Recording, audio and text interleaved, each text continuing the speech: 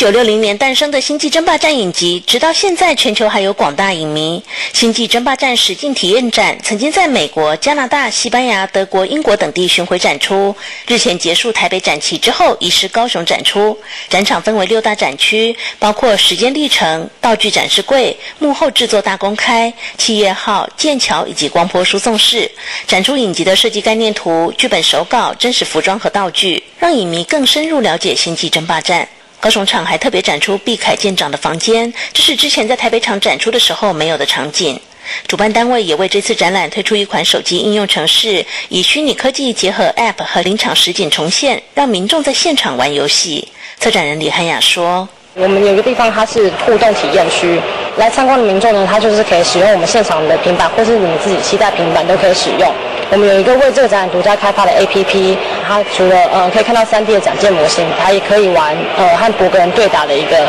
设计游戏。星际争霸战实境体验展从十月九号起在高雄市博尔艺术特区 C4 仓库展出，展期到明年二月九号。记者熊慧芳高雄报道。